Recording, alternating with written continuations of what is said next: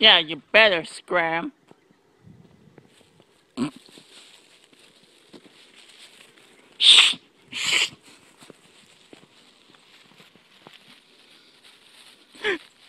That was fucking loud.